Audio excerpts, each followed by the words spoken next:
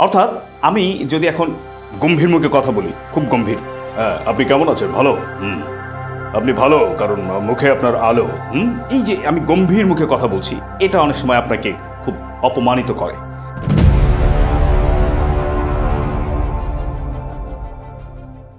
আমি শামীম হাসান নাহিন সংক্ষেপে হুম, আপনাদেরকে জানাই হৃদয়ের রাজধানী থেকে শুভেচ্ছা। আশা করছি সবাই ভালো আছেন, আর আপনি ভালো আছেন কি ভালো নেই এটা ডিপেন্ড করে আপনি যার সাথে কথা বলছেন, তিনি কোন মোড়ে কথা বলছেন। অর্থাৎ আমি যদি এখন গম্ভীর মুখে কথা বলি, খুব গম্ভীর। হ্যাঁ আপনি কেমন আছেন? ভালো? হুম। আপনি ভালো, কারণ মুখে আপনার আলো। হুম? এই যে আমি গম্ভীর মুখে কথা বলছি, এটা অনেক সময় আপনাকে খুব অপমানিত করে। আর যদি একটু হাসি মুখে কথা বলি, হাসি মুখে কথা বলি, তাহলে কি হয়? আপনার মনটা একটু ভালো লাগে, তাই না? তো অনেক সময় আমার ভালো থাকা, মন্দ থাকা ডিপেন্ড করে আপনি হাসছেন কিনা। আবার ভাইসি ভার্সা যা হোক ম্যান অফ ম্যানার্স আমাকে প্রত্যেককেই ম্যান অফ ম্যানার্স অথবা প্রেসার অফ ম্যানার্স হতে হবে। অর্থাৎ শিষ্টাচার, আচরণ কেমন হবে অ্যাটিচিউড কেমন হবে। বলা হয়, শিষ্টাচার কখনোই সম্পূর্ণ হবে না, যদি না মুখে একটা হাসি থাকে। আমি হাসি ভালোবাসি, আমি হাসির চাষি। হাসতে চাই। আগে আমি হাসতে পারতাম না হ্যাঁ? হাসতে পারতাম না, একেবারে আমার সামনের দুইটা দাঁত ফাঁকা। আমার মনে হতো মানে আমার ভিতরে একটা ইনফেরিটি কমপ্লেক্স কাজ করতো। আমি হাসতাম এভাবে, সবাই হাসছে, কোটি কোটি লোক, কোটি কোটি হয়ে যাচ্ছে, হাসতে হাসতে। আমি হাসছি covering my friend tears I use to smile হ্যাঁ আমি সামনের দুইটা দাঁত ইনসাইজেস ঢেকে তারপরে হাসতাম। আমি দেখতাম সবাই হাসছে, আমি হাসতে পারছি না।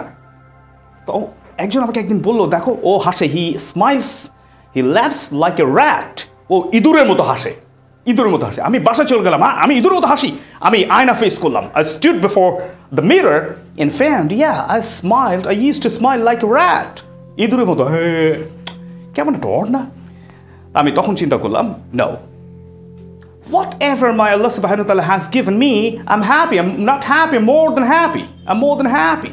I started smiling, I started laughing, okay? তো আমি দেখেছি যে এটা অনেক ভালো লাগে পৃথিবীটা অনেক সুন্দর হয়ে যায়। আর হাসলে স্কিন ভালো থাকে স্কিন মিসকিনের মতো হয় না। তো ম্যানার্সের প্রথম শর্ত হচ্ছে হাসি। হুম আমি পরিস্থিতি অনুযায়ী হাসবো। হাসবো। আমরা পরিস্থিতি অনুযায়ী পরিস্থিতিকে ডিপেন্ড করে হাসবো কোন পরিস্থিতিতে হাসা যায় তাই না? কেউ হয়তো মারা গিয়েছে তখন আবার হাসবো না। কেউ মারা গিয়েছেন তখন আমি বললাম হ্যাঁ উনি মারা গিয়েছেন। তো আমরা এই জন্য খুবই মর্মাহত। তো সবাই তো মারা যায় না? কেউ কেউ মারা যায়, কখনো কখনো মারা যায়। আমি তো আর মরবো না, আপনারা সবাই মরবেন হ্যাঁ। হ্যাঁ তো দেখেন, ওই সময় আমি হাসবো না। অর্থাৎ হাসবো আমরা সব সময়, কিন্তু এই কথাটা ঠিক না। হুম, পরিবেশ বুঝে, পরিস্থিতি বুঝে আমরা হাসবো। তো হাসি আমরা ভালোবাসি, কারণ আমরা হাসির চাষি। হাসলে স্কিন ভালো থাকে, যেটা বলছিলাম। অর্থাৎ স্কিন খুব সুন্দর থাকে, খুব সুন্দর থাকে। দেখবেন হাসলেই। পৃথিবীটা অনেক সুন্দর মনে হয়। আমি ইন্টারভিউ বোর্ডে ঢুকেছি আমি একটা বিনয়ের হাসি দেবো তখন। আসসালামু আলাইকুম স্যার। হ্যাঁ একটা বিনয়ের হাসি। আসসালামু আলাইকুম স্যার। কেমন আছেন? এটাও হাসি। হ্যাঁ বাংলা ছবির খুচরা ভিলেন। এরকম এটা হাসি। আচ্ছা তা আমি আমার বাচ্চাটা এসেছে আমার কাছে ধরেন বাবা বাবা I have drawn a picture your future picture ভবিষ্যতে তোমাকে কেমন লাগবে সেই পিকচার আমি এঁকেছি? আমি বললাম তাই তুমি ছবি এঁকেছো আমার হুম আচ্ছা গুড ভালো হয়েছে যাও পড়তে বসো। বুঝতে হবে ইনি প্রফেশনাল ভিলেন খুচরা। আপনি ঝলমল করে হেসে wow beautiful beautiful great great ah, কি চমৎকার হ্যাঁ। তুমি তো Leonardo da Vinci congratulations my son my daughter show it to mother তোমার মাকে এটা দেখাও। মনটা বড় হয়ে যাবে, ঝলমলে হাসি হবে। একটা মেহমান এসেছেন মেহমান এসেছেন, মেহমান বাসায়। হুম। আমি বললাম মেহমান এসেছেন? আমি দেখে বললাম, ও, আপনি এসেছেন? আমার, আপনাকে দেখে খুব ভালো লাগল। বসেন। চা খান। চা খান, ভাত খান, আমির খান, শাহরুখ খান, হুম? বললাম। আচ্ছা মেহমানকে ভালো লাগবে? আপনি যত অ্যাপয়েন্ট করেন না কেন, তার ভালো লাগবে না? কারণ আপনি ওয়েলকাম ওয়েলকাম যে রিসেপশন আপনার রিসেপশনে সমস্যা ছিল।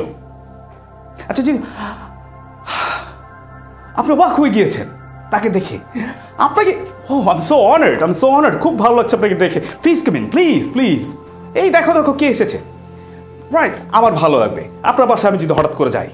হ্যাঁ আপনি অভিনয় করে হলে একটু অবাক হবেন। অবাক হবেন। এই, আপনি মিস্টার মিস্টার শাহানা না? বেটা মানুষের নাম শাহানা। আসেন আসেন ভিতরে আসেন আসেন। খুব ভালো লাগল। আমার ঝলমলে আমার চেহারা হয়ে যাবে আপনাকে দেখে। আমার ভালো লাগবে যে আমার আগমনে আপনি খুশি হয়েছেন। হাসি। হাসি। হাসি নিয়ে অনেক কথা বলা যেতে পারে। আমি তখন বললাম, আমি তখন বললাম, না না না, এখন আসব না। না একটু আসেন, একটু এক কাপ চা খান অন্তত, আসেন আসেন, একটু চা খান। না না, আপনাদের কষ্ট দেবো না, আমি চা খাব না, একটু ভাত খাব। এমন কথা হলো কোনো আচ্ছা কিন্তু বিদায়ের সময় বিদায়ের সময় একটু হাসি কম থাকবে, তাই না? ও, আপনি, আজকে চলে যাবেন? আচ্ছা আচ্ছা আপনি জেনেছেন যে হাসতে হবে সবসময়। সবসময় যদি হাসেন, অনেক সমস্যা। হুম, বিদায়ের সময় মুখটা একটু করুণ থাকবে, তাই না? হ্যাঁ আপনি চলে যাচ্ছেন, খুব মিস করব। খুব সুন্দর সময় কাটিয়েছিলাম আপনার সাথে। আবার আসবেন, অবশ্যই আসবেন অবশ্যই আসবেন। আচ্ছা মানে আপনার একটু কষ্ট যে আপনি আসলেই মিস করবেন, তাই না? আর আগমনের সময় ঝলমলে হাসি ওয়েলকাম স্মাইল লেখাই। আর যখন বিদায়, তখন এরকম। তো আমরা ছোটবেলা থেকে বাচ্চারা যদি বলি, বাবা, হাসো বাবা হাসো, বাবা, দাঁত মাজো। আপনি হাসেন না, আপনি হাসেন না, হয় আপনি মহাজ্ঞানী না, হয় দাঁত মাজেন না। বলে বলে হয় না, আমরা বাবা মারা, আমরা কিংবা বড়রা বড়রা বাচ্চাদের সামনে অভিনয় করে হলেও এই ধরনের আচরণগুলো করা উচিত যাতে করে তারা এটা শিখতে পারে। এবং শিষ্টাচার ম্যানার্সের প্রথম শর্ত হচ্ছে এবং মৌলিক শর্ত হচ্ছে একটা হাসি, মৃদু হাসি, বিনয়ের হাসি এবং পরিস্থিতি বুঝে কখনো কখনো হাসবো, কখনো হাসিটা মুখ থেকে মুছে ফেলব। আমাদেরকে প্রত্যেককে ম্যান অফ ম্যানার্স হতে হবে man of manners women of manners অথবা পার্সন অফ ম্যানার্স প্রত্যেকে ম্যান অফ ম্যানার্স হতে হবে, প্রত্যেককে। অর্থাৎ আপনার আচরণ যেন আরেকজনের হয় খুশির কারণ। অনেক ধন্যবাদ, আবারও হৃদয়ের রাজধানী থেকে। আমি শামীম হাসান নাহিন, সংক্ষেপে সাহারা নামটা ভুলবেন না। Thank you good luck to you